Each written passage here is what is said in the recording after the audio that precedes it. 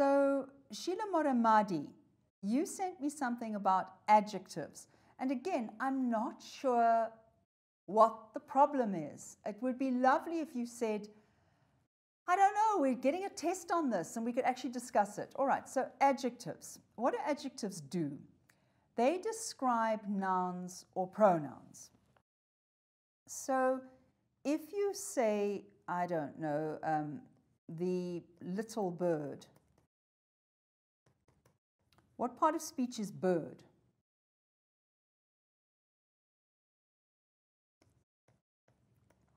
Which word is little telling me about? So if it's telling me about a noun, then this must be an adjective. If you said something like, um, uh, the boys, daddy, daddy, daddy, daddy, da they are so intelligent. What part of speech is they? This is a pronoun. What does it refer to? The noun. Which word is intelligent telling me about? The they. So this is an adjective.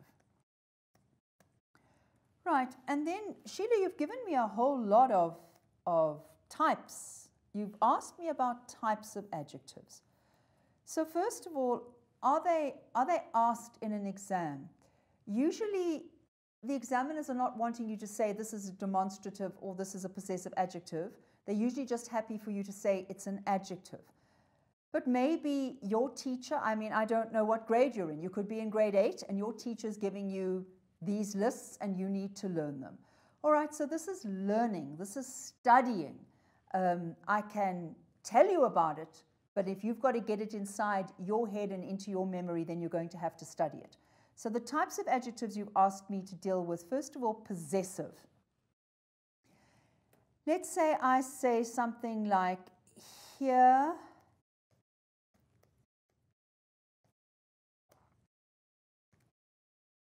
What part of speech is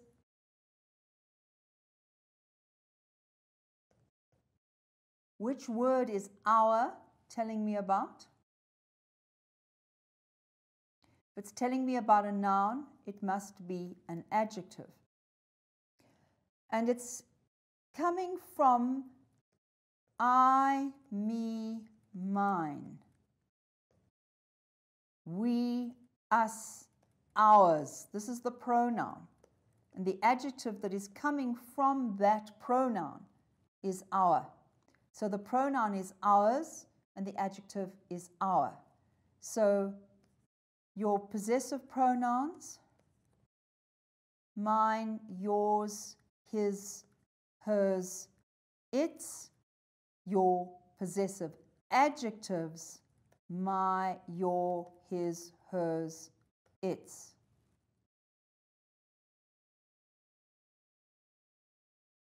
Descriptive is, is really the bulk of your adjectives. So if you do hot and cold and your colors, all your colors, red, white, blue, yellow, green, pretty, attractive, intelligent, they're all descriptive. They're describing. Interrogative, interrogate. This rogo comes from the Latin and it means to ask. So interrogative is anything that asks. So if I say, who is there? I'm asking a question. Do I know who is there? No, I don't. That's why I've said who. So this is a pronoun.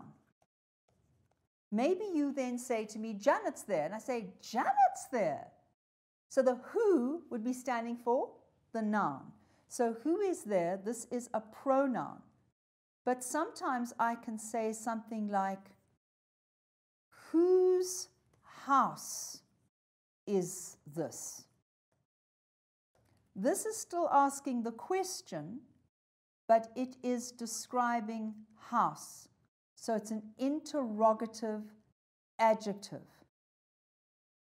Which book do you want me to pass you? That's the noun. This is the interrogative adjective. In English, let me use another color. In the singular,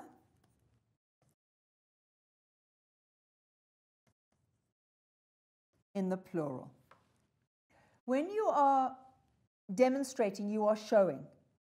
So this and that demonstrates that it's close to me in space, and those, sorry, this and these, and that and those over there show further away in space. The only place you absolutely have to know this is for reported speech. Because if you've got the this and the these in direct speech, then it becomes that and those in reported speech. Whatever is closer to you goes further away in reported speech. And I think that's all that you asked about. No, I lie. You asked about compound adjectives. So there's a bakery um, along the way to the studio, and they're offering ready made dough. So this is your noun. Ready made is made up of two words. You've got the ready and then the hyphen and the made. So this is a compound adjective. If I said that somebody was wearing a dark blue mask,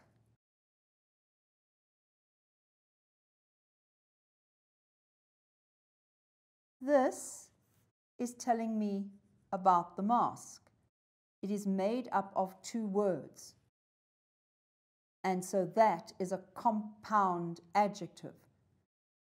It can be made up of more than two words. If I said this is a um, hope, hopelessly um, useless, and I turned it all into one word, uh, futile activity, task, then I could make a compound word out of those three words. So, compound adjective.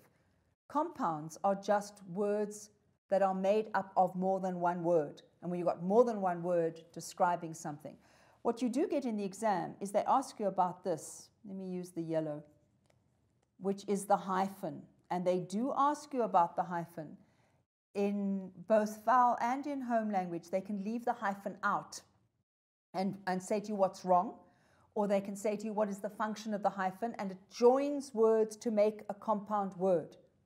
Right, so you need to say that. Don't say something like, it makes the two words into one word. You need to say, it creates a compound word. In home language, particularly, they want you to use the meta language, the language that we use to discuss language. So it creates a compound word. And I think that is everything. Yeah, it is. So, um, Sheila, just tell me sort of why. Why are we doing this? Should you use a lot of adjectives in your writing? Oh, please don't. Adjectives can actually make writing weaker rather than stronger. Yes, adjectives make things vivid. They give color and life and energy and all the rest of it to your writing.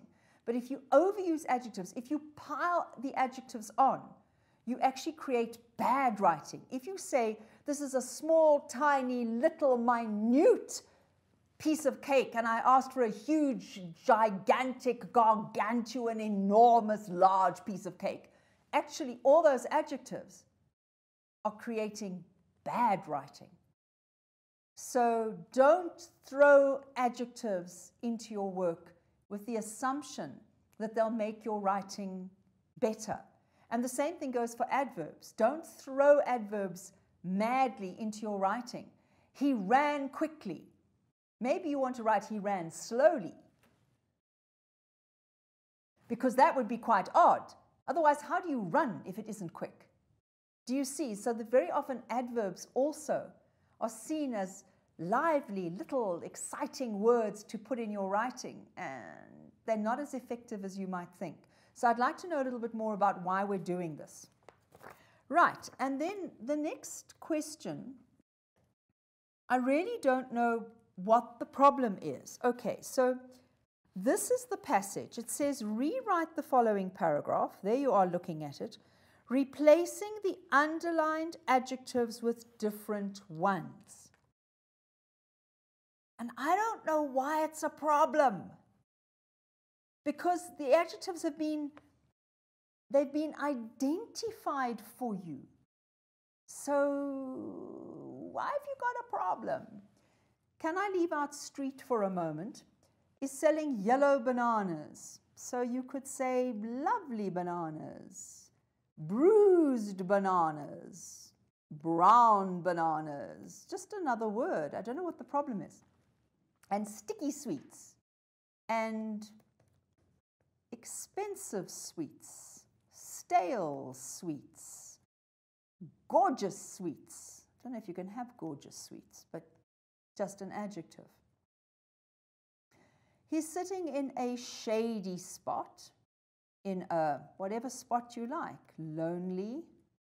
Um, we better not use quiet. I was going to use quiet, but it's there. In a hot spot, in a busy spot, on the pavement next to a quiet road, a noisy road, a long road, a tarred road, a dirt road, a, I don't know, neglected road. His eldest daughter, his younger daughter, his lovely daughter, except we shouldn't use lovely if we've used them over there. His slim daughter, his, why don't we use a compound? Dark haired daughter, there's a compound adjective.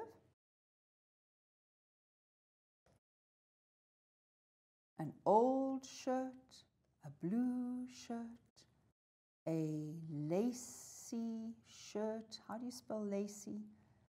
Whatever. So I'm just, I'm just not sure what the problem is. Who is this from?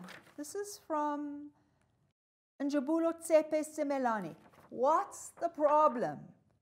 You sent it to me and I don't know what what is causing you a problem? Right, can I talk about street trader? I guess that is an adjective, and certainly they want it as an adjective here.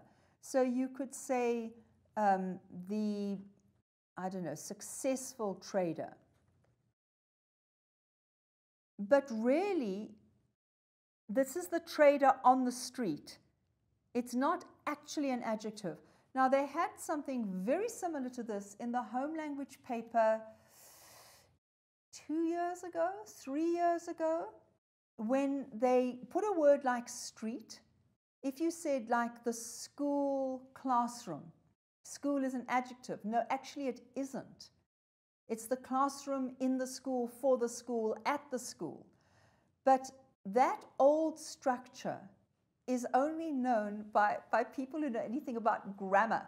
Um, so don't worry about it. I would accept if you said street there was a noun or an adjective, I would take either answer. And in the exams, they certainly took adjective. So don't, don't be upset if you think, hang on, but street's actually a noun. Are we using this noun as an adjective? Just say, yes, we are. So, Njabulo, just give me a clue what, what the problem is here? Send another message. Tell me.